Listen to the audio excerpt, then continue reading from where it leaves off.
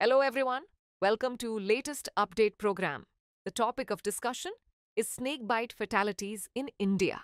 This topic relates to the science and technology section of the UPSC syllabus. Let's see why this is in news. Herpetologists and health experts have raised concerns about the ineffectiveness of India's current polyvalent antivenom in regions outside the Big Four snake territories. Experts propose establishing a regional venom center and serpentarium to address the unique challenges posed by snake bites in these regions.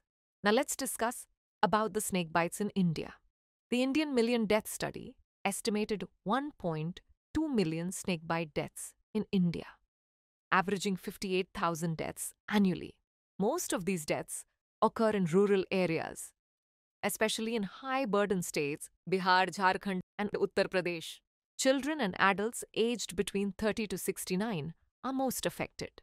In India, snakebite victims are treated with a polyvalent antivenom made from the venom of big four snakes Indian cobra, common krait, Russell's viper, and saw scaled viper that are responsible for most fatalities but it is largely ineffective for other species found in different parts of the country, particularly in the northeast, where snakebite deaths are more commonly caused by the monocled cobra, Naja kaouthia, Krait's bungarus species.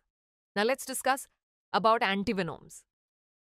Snake venom contains hemotoxins, neurotoxins, and cytotoxins that damage blood, nerves, and tissue.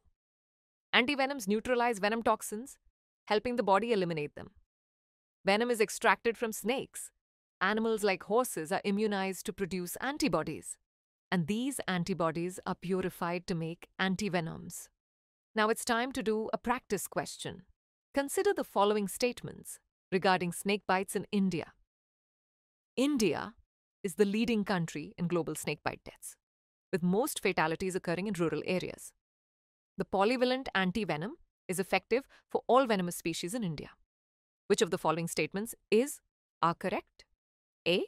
1 only. B. 2 only. C. Both 1 and 2D, neither 1 nor 2. Send the answer for this question in the comment section. Thanks for watching. For more informative content, like, share and subscribe and do not forget to press the bell icon to get the notifications.